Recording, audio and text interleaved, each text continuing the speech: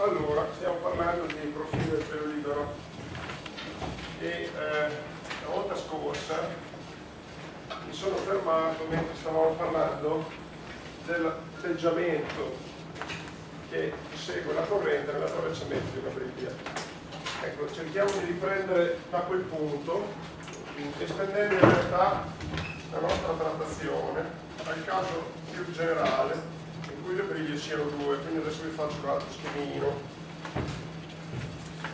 Allora, supponiamo quindi di avere un alveo che, come vi ho detto, sapevo io che sarebbero, come vi ho detto, è un alveo a forte pendenza, assumiamo che sia un alveo a forte pendenza, noi facciamo questa assunzione perché questo per noi rappresenta un caso, scusate che faccio il più grande, un caso tipico nella pratica, cioè di solito quando costruiamo delle briglie su un alveo fluviale lo facciamo per ridurre la pendenza, come ho detto, perché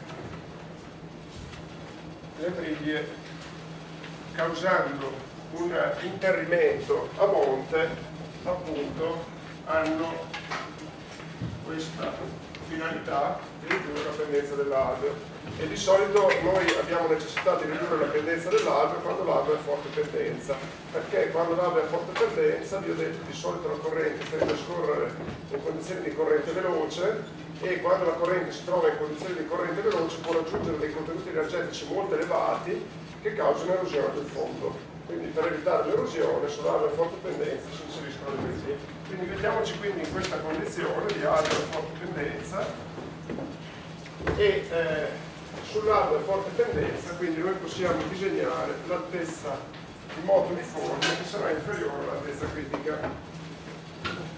Quindi avremo la nostra altezza di moto uniforme che adesso devo disegnare parallela al fondo. Ecco qua. La chiamiamo, la indichiamo col simbolo al solito H1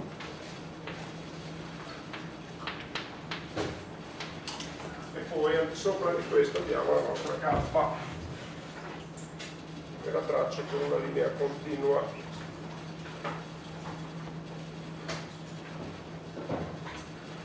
K.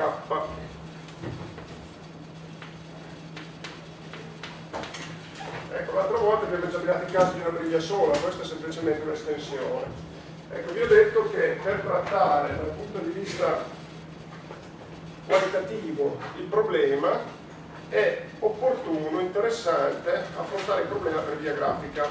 Noi l'altro giorno l'esercitazione in realtà l'abbiamo affrontato direttamente per via numerica, poi contemporaneamente alla lavagna vi ho mostrato il disegno o forse ho fatto il plot direttamente, non c'era bisogno di fare la lavagna e contemporaneamente è utile comunque fare la risoluzione per via grafica per avere un confronto.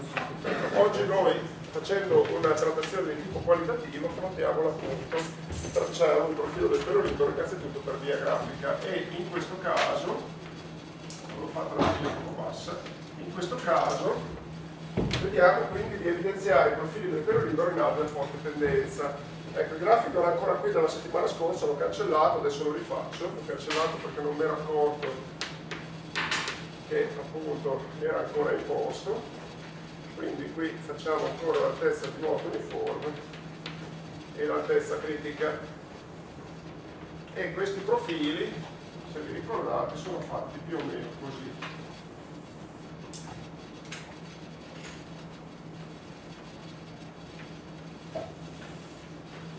ecco qua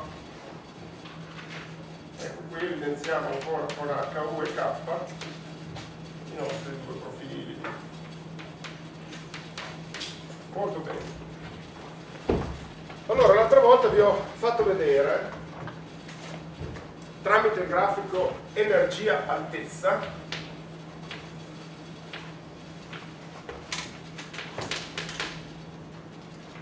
Grafico che vi porto qui.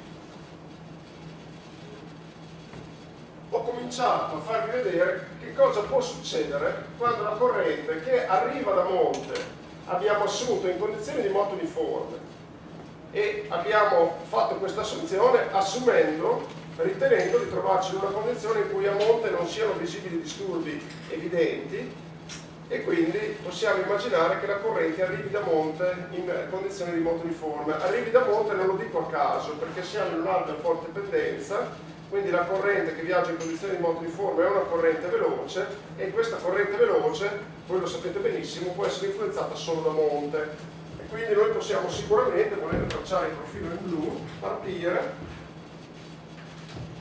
da monte in condizioni di moto uniforme. Eh? molto bene e allora io ho cominciato a, a spiegarvi che la corrente che arriva in condizioni di moto uniforme quindi avrà un'altezza di moto uniforme che qui possiamo evidenziare con il simbolo HU l'altezza critica la possiamo pure evidenziare questo grafico col simbolo K e l'altezza di moto uniforme è un proprio contenuto energetico che noi possiamo calcolare, perché noi l'altezza di moto uniforme la sappiamo, avete visto nell'esercitazione che dati i dati del problema, la prima cosa che abbiamo fatto è calcolare l'altezza di moto uniforme e l'altezza critica. Quindi chiaramente conoscendo l'altezza di moto uniforme noi eh, possiamo calcolare il contenuto energetico. Vi ricordo che il contenuto energetico è il pari a in generale H più quadro su 2G e quindi conoscendo H, nel nostro caso l'altezza di moto uniforme, voi siete anche in grado di calcolare l'area bagnata della sezione e quindi di conseguenza la velocità. Ecco, in effetti questo si può anche scrivere questo termine come Q quadro su 2G a quadro. Questo termine qui, vero? possiamo scrivere così. Bene, quindi il contenuto energetico lo conosciamo. Allora, che cosa succede alla corrente? Che arrivando da monte con quel contenuto energetico, che io guardate bene ho evidenziato qui, la possiamo chiamare E di HU, che cosa succede quando la corrente con quel contenuto energetico incontra la briglia? Allora, intanto qui abbiamo bisogno di evidenziare su questo grafico con un simbolo l'altezza della briglia. Perché che cos'è la briglia dal punto di vista della corrente? Altro non è che un brusco rialzo del fondo. Quindi questo brusco rialzo del fondo rappresenta per la corrente un ostacolo, deve essere definito. E allora vediamo di definire questo brusco rialzo e eh, con, definendo l'altezza della briglia con la lettera, dunque lo faccio qui, M.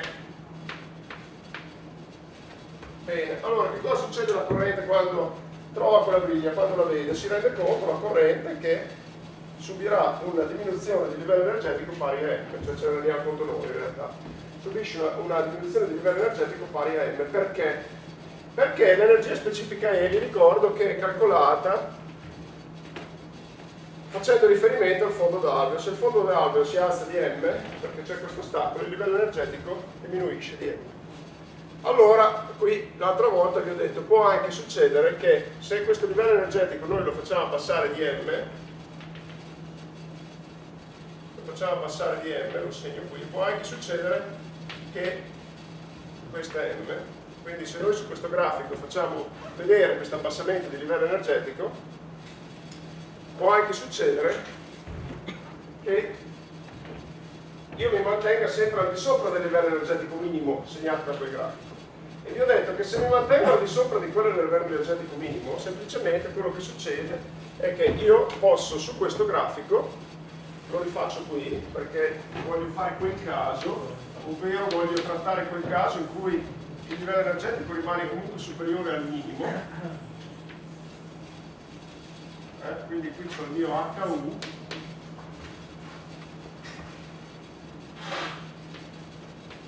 qui c'è il mio K, qui c'è E, allora che cosa succede se tracciando il dislivello M io rimango superiore al minimo? Beh, significa che il livello energetico balza a questo valore a cui corrisponde un'altezza H star che è minore, è maggiore, scusatemi, di H1.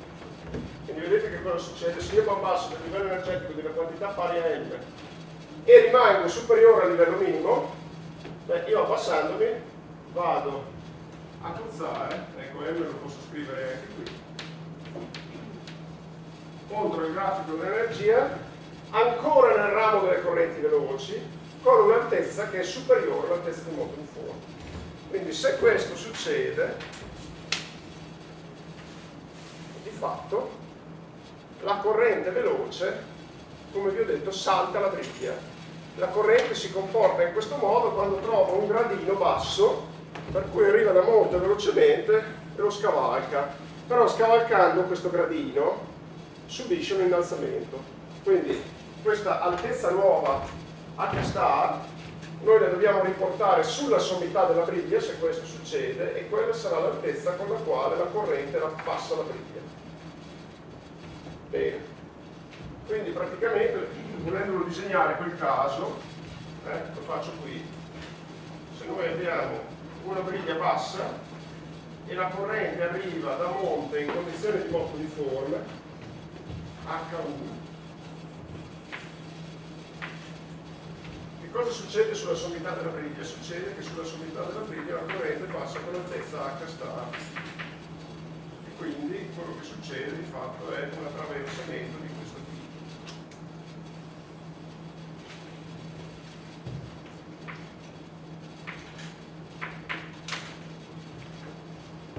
Quello che succede è un attraversamento di quel tipo. Ecco, però io vi ho detto, adesso io ho un po' esagerato quel disegno, vi ho detto che quella situazione la vogliamo evitare. Perché che cosa succede in quella situazione? Succede che la corrente rimane veloce, continua a erodere il fondo. È vero che la rallentiamo un po', però di fatto la corrente rimane con una energia molto elevata, è una situazione che noi vogliamo evitare. Ecco, fate attenzione nel fare quel disegno. Voi vi sarete sicuramente resi conto, se non ve ne rendete conto, se non vi siete resi conto è del tutto normale, e però adesso ne dobbiamo discutere, che di fatto in corrispondenza di questo gradino, io non lo chiamo più briglia perché la briglia eh, deve essere tale per cui non ho energia sufficiente per passarlo. In corrispondenza di quel gradino, di fatto, viene meno la condizione di corrente gradualmente variata per cui fate attenzione che cosa ho fatto io implicitamente. Implicitamente ho scomposto questo tronco in due tratti, prima del, del gradino e dopo il gradino. E per trovare l'altezza sul gradino, che cosa ho fatto? Ho imposto una condizione di bilancio energetico. Cioè non ho integrato le equazioni del Saint-Venant, non ho tirato fuori le equazioni del Saint-Venant e le ho integrate, non ho usato l'equazione d su ds uguale i meno j, h su d, eh, scusate, d su ds uguale i meno j non ho usato quell'equazione che abbiamo usato in classe l'altro giorno col computer, ho fatto tramite il grafico un'equazione di bilancio energetico. Perché? Perché qui non posso integrare le equazioni di Severano, ho questo gradino che mi dà una discontinuità. Allora ho imposto il bilancio energetico, ho trovato una condizione di valle del tronco di monte che diventa anche la condizione di monte del tronco di valle e il raccordo tra l'altezza di moto uniforme e questo gradino l'ho tracciato a sentimento. Cioè questo raccordo qui io l'ho tracciato a sentimento. Ecco, lo posso fare perché? Perché la perturbazione indotta dalla corrente è estremamente localizzata, cioè la corrente arriva da monte in condizioni di moto uniforme. Va a passare contro il gradino, immediatamente si alza, però tutto questo avviene in un intervallo molto limitato, quindi mi posso permettere di tracciare questo raccordo a sentimento, poi a valle ritorna immediatamente in condizioni di moto uniforme. Perché? Perché la perturbazione è limitata e come scende dalla briglia la corrente molto velocemente raggiunge di nuovo la condizione di moto uniforme. Allora vi posso permettere questo raccordo a sentimento.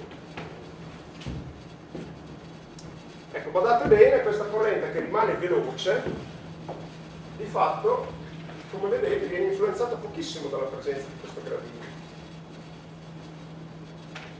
Allora, questo vi ripeto che situazione è? La situazione nella quale in cui abbassandomi sulla curva dell'energia della quantità m rimango sopra al valore dell'energia minima. Molto bene. Ecco, io però quella situazione la voglio evitare. La voglio evitare perché io voglio rallentare la corrente. Non voglio che rimanga una corrente veloce, perché se rimane una corrente veloce, la riduzione del livello energetico è estremamente limitata.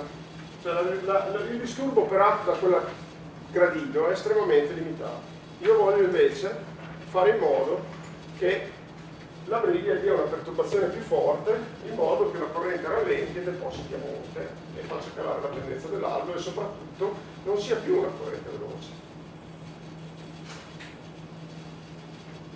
Come si fa a raggiungere questo obiettivo? Semplicemente l'altezza m della briglia la dobbiamo progettare in modo tale che la corrente che giunge da monte in condizioni di moto uniforme non abbia energia sufficiente per passare la briglia. Cioè dobbiamo fare le briglie più alte. Allora che cosa succede? Che quando mi abbasso, ritorno su questo grafico qui, della quantità m mi trovo al di sotto del minimo. Che cosa vuol dire? Vuol dire che non esiste una configurazione energetica in accordo a quel grafico che mi permette di passare su quel gradino. Bene. E allora vuol dire che la corrente deve risparmiare energia. Cioè la corrente, se arriva da monte in condizioni di moto uniforme, quel gradino non lo passa. Ripeto, eh? quella briglia, la corrente, se arriva da monte in condizioni di moto uniforme, quella briglia non la passa. Quindi la corrente deve risparmiare energia. Come fa una corrente a risparmiare energia? Ecco, vi ho già detto che se la corrente ha un'altezza che è superiore a quella di moto uniforme, sta risparmiando energia, quindi la corrente deve crescere in altezza.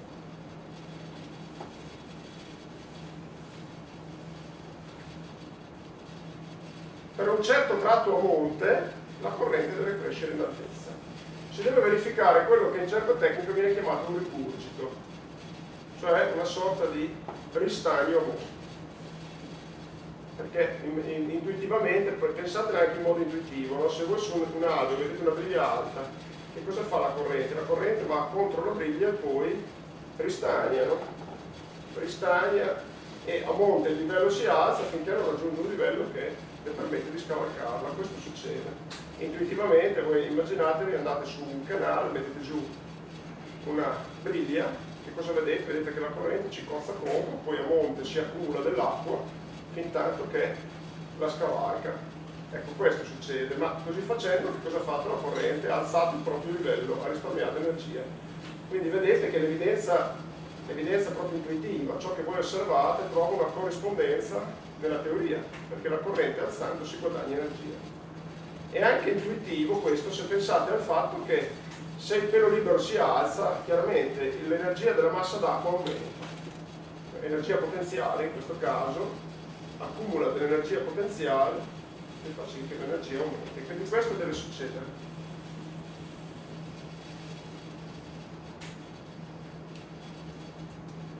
E tra l'altro questo non va anche bene perché l'acqua, ristagnando, il materiale in sospensione che porta lo fa depositare, perché il materiale in sospensione viene mantenuto in sospensione dalla velocità elevata della corrente.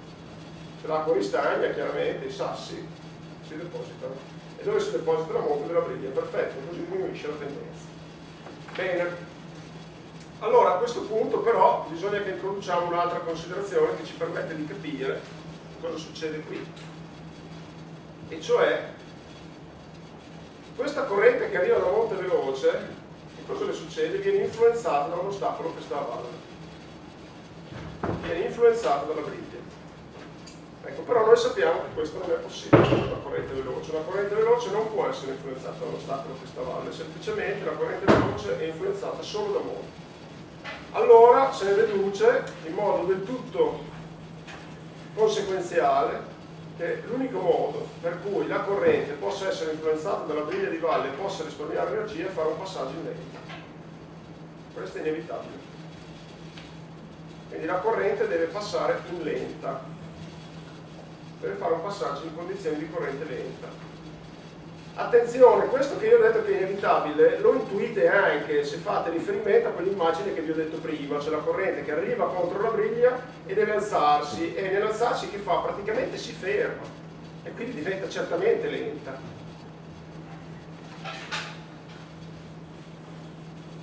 Poi è chiaro che la corrente nel momento in cui arriva all'altezza della briglia riprenderà a muoversi, però nel frattempo ha raggiunto un'altezza tale che si muoverà lentamente.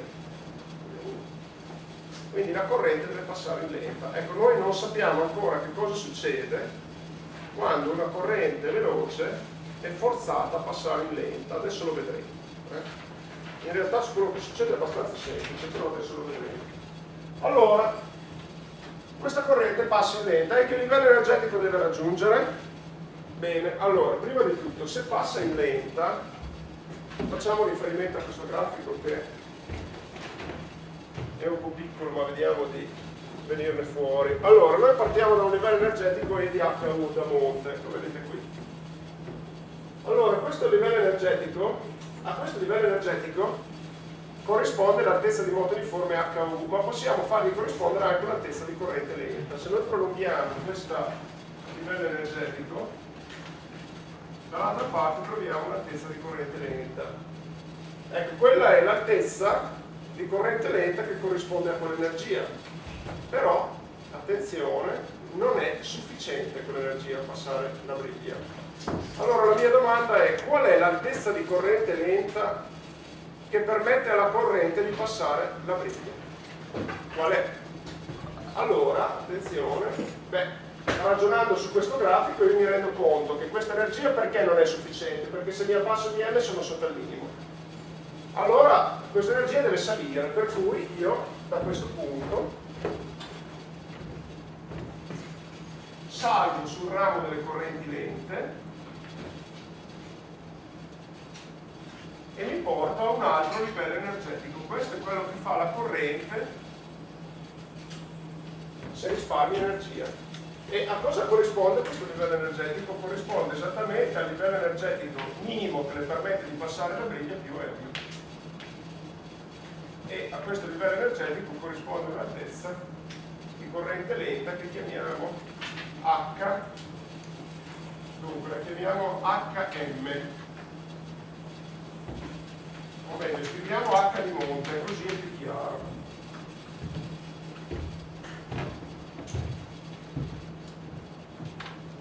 allora attenzione vi ripeto cosa ho fatto. Parto da monte con un livello energetico E di HU sono in condizioni di corrente veloce quindi sono in corrispondenza dell'altezza di moto uniforme HU ho detto che la corrente deve diventare lenta.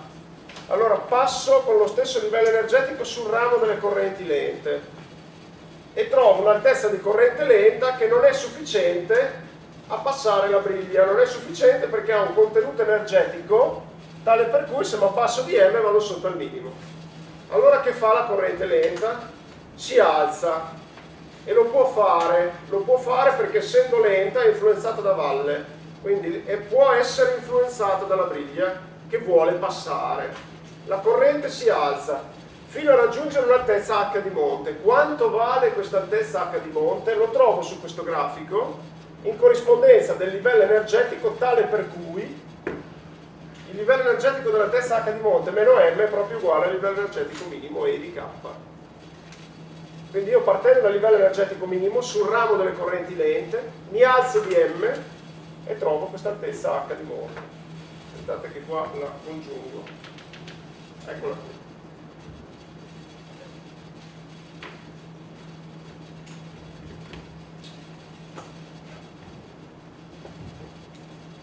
Ho ragionato solo sull'energia, cioè impongo alla corrente di raggiungere l'energia minima per passare quell'ostacolo e impongo alla corrente di lavorare sul ramo delle correnti lente perché l'ostacolo si trova a e allora trovo questa altezza H di monte. Attenzione, questa altezza H di monte io la posso piazzare qui la corrente passerà di qua. Questo è HM, scusatemi, H di monte. Lo scrivo qui, H di monte. Bene, e allora io so per certo che la corrente passa di qua.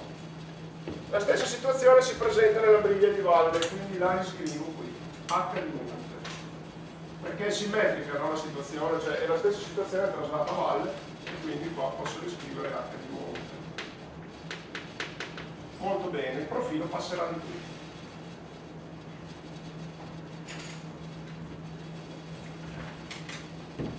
Prossima domanda che vi faccio. Quanto vale l'altezza della corrente sulla cresta della griglia? La cresta della griglia si chiama gaveta, eh, questo è un nome che dovete memorizzare chiama gaveta, quindi d'ora in poi io dico quanto vale l'altezza della corrente sulla gaveta della briglia. Beh, lo vediamo sempre da qui, no? Cioè, passiamo di M e arriviamo all'altezza K. Quindi riportiamo sull'altezza della briglia l'altezza K. Sulla gravità della briglia, scusate, l'altezza K.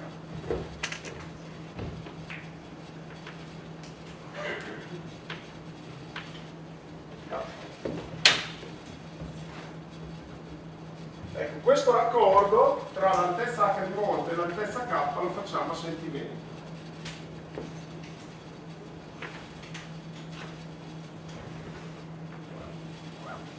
Facciamo a sentimento perché è un raccordo che viene fatto in un punto in cui c'è una discontinuità alla briglia, quindi non possiamo raccordare con le equazioni del Semmerano. Bene, vedete che pian piano ci stiamo muovendo, no? stiamo identificando quel profilo. Bene, poi a valle della briglia, immediatamente a valle, la corrente cade, quindi qui ci verrà un getto.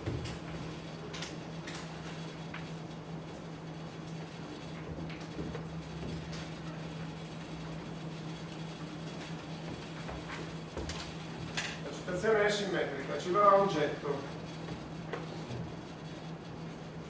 Allora, intanto l'esperienza suggerisce che quando la corrente esce dalla briglia, esce dalla gavetta, quando il getto esce dalla gavetta, la chiamata allo sbocco, la chiamata di questa cascata fa abbassare l'altezza in uscita, che non è più pari a K, cioè se noi andiamo a considerare proprio il limite della briglia, l'altezza della corrente è un po' inferiore a K.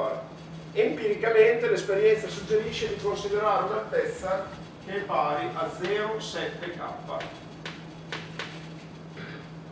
la stessa cosa qui.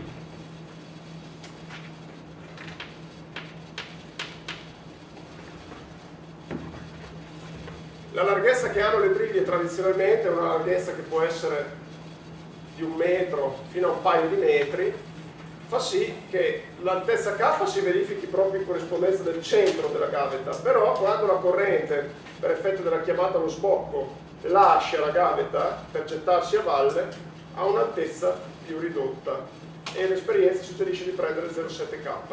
Ecco, perché noi siamo interessati a questo valore? Siamo interessati perché vogliamo conoscere la velocità con la quale la corrente esce dalla briglia. Cioè noi qui vogliamo conoscere la velocità. Ecco perché lo vedremo nel dettaglio tra qualche minuto. Eh, la vogliamo conoscere perché vogliamo calcolare il punto d'atterraggio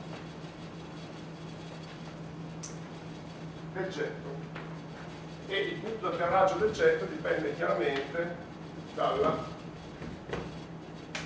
velocità di uscita e quindi siamo interessati a sapere quanto vale questa velocità di uscita. Ecco, il punto di atterraggio si determina calcolando, trattando la corrente come un grave che cade nel vuoto. Un grave però che è dotato di velocità orizzontale, dato dalla velocità di uscita. Lo vedremo tra un attimo come fare questo calcolo.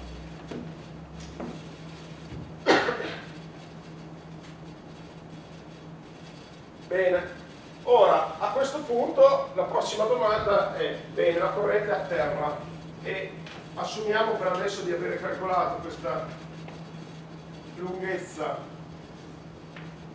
L1, assumiamo di averla calcolata, quindi sapere dove è a terra. Ecco, posticipo questo calcolo perché voglio invece adesso concentrarmi, rimanere concentrato, concentrare la vostra attenzione sull'altezza d'acqua che si verifica nel punto d'atterraggio. Ecco, nel punto d'atterraggio è estremamente importante che noi stimiamo l'altezza d'acqua, perché? Perché quella rappresenta per noi la condizione del contorno per partire verso valle e tracciare il profilo. Quindi dobbiamo sapere, ripeto, l'altezza d'acqua nel punto d'atterraggio. Ok, intuitivamente, attenzione, intuitivamente, quanto varrà quell'altezza? Intuitivamente la prima domanda che ci dobbiamo chiedere è l'altezza d'acqua nel punto di atterraggio è inferiore, maggiore o uguale all'altezza del moto uniforme? O meglio, scusatemi, la prima domanda è la corrente nel punto di atterraggio è veloce o è lenta? Questa è la prima domanda. Beh, innanzitutto tenete presente che si tratta di una corrente che cade nel vuoto, quindi non può che essere veloce. E non può che essere veloce perché? Perché cadendo nel vuoto è influenzato da uno stafano che sta a monte, quindi non può che essere veloce. Quindi la prima domanda è liquidata cioè la corrente che atterra da una cascata non può che essere una corrente veloce, perché, ripeto, è condizionato da un ostacolo che sta a monte. Bene, allora adesso la seconda domanda è quella, la, con quale altezza la corrente atterra? Cioè qual è l'altezza d'acqua che si verifica nel punto di atterraggio? E, ripeto, è interessante chiedersi, è una corrente veloce, ma l'altezza d'acqua nel punto di atterraggio è minore, uguale o maggiore a quella di moto uniforme? Bene.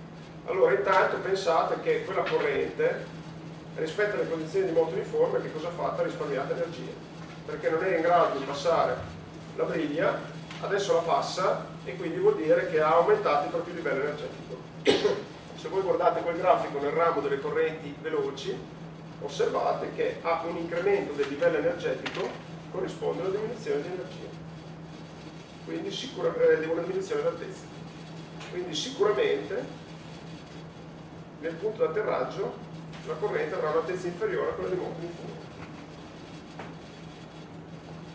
Ok, allora vediamo di trovare questa altezza.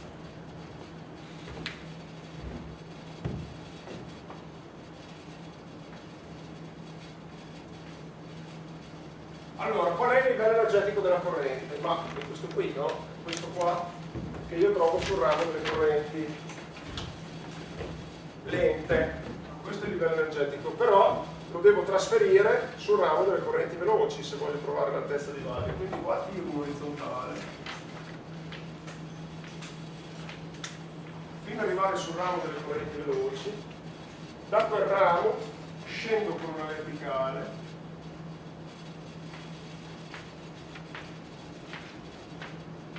e qui trovo che cosa? HD valle eccola qua. Che come vedete è inferiore all'altezza di moto uniforme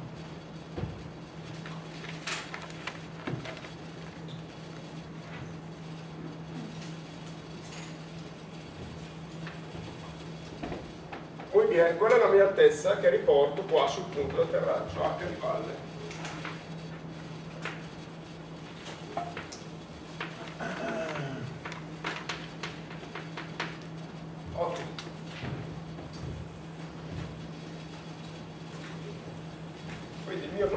partirà da qui. E quindi qui avremo eh, al nostro punto d'atterraggio la corrente che arriva, fa un gran ribollire e poi riparte da questo punto.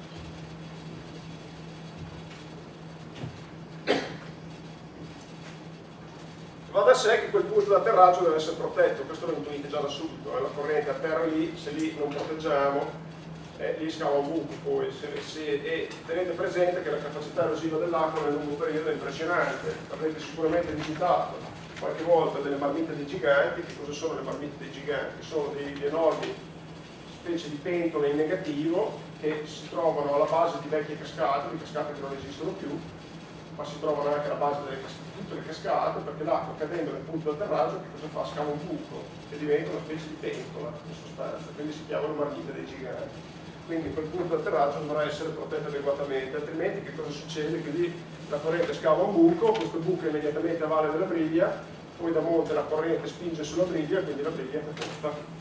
Ecco, quindi lì andrà sicuramente protetta, vedremo come fare. Molto bene. Ok, adesso a questo punto eh, smetto di fare di disegnare qua a valle perché adesso mi concentro solo sul tratto intermedio, a valle dovrei disegnare lo stesso profilo traslato verso valle, però a me invece adesso interessa di capire che succede qui, perché adesso qui io mi ritrovo con una corrente che ha altezza inferiore all'altezza di moto uniforme e mi aspetto che verso valle tenda asintopicamente all'altezza di moto uniforme, questo mi aspetto però in basso ho una corrente lenta, una corrente lenta che risale verso monte con questo profilo qua perché è una corrente lenta in un alveo a forte pendenza e quindi tende all'altezza critica con tangente verticale quindi praticamente qui mi ritrovo con un profilo di questo genere e vedete che i due profili si sovrappongono questo è normale perché vi ho detto che in un tronco in generale, in un tronco d'albero possono verificarsi sia un profilo di corrente veloce che un profilo di corrente lenta. e adesso bisogna capire chi vince. No? Cioè bisogna capire cosa succede e dove questi due profili si incontrano. Cioè bisogna capire dove si incontrano e che cosa succede.